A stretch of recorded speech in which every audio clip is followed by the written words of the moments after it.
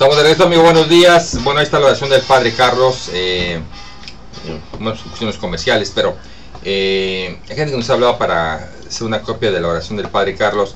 Yo ya hablé con el Padre Carlos, dice el Padre Carlos, con mucho gusto. Nos van a hacer unas 10 copias para regalar a la gente.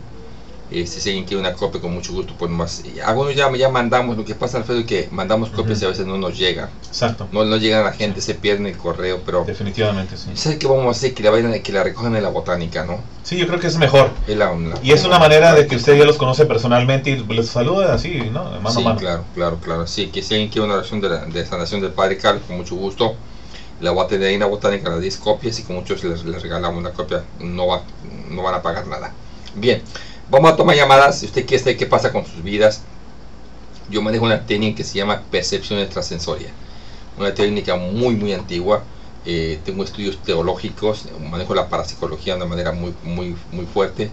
Así que eh, lo que tienen que decirle a Verónica o Alan es el nombre, su fecha de nacimiento, con mucho gusto. Yo digo la información, yo doy más información. No tienen que decirle nada a Verónica ni a Alan. Solamente el nombre y su fecha de nacimiento, yo me encargo de lo demás. Y ya tenemos la primera llamada, mi estimado Alan, está en línea. Bueno, vamos con la primera llamada.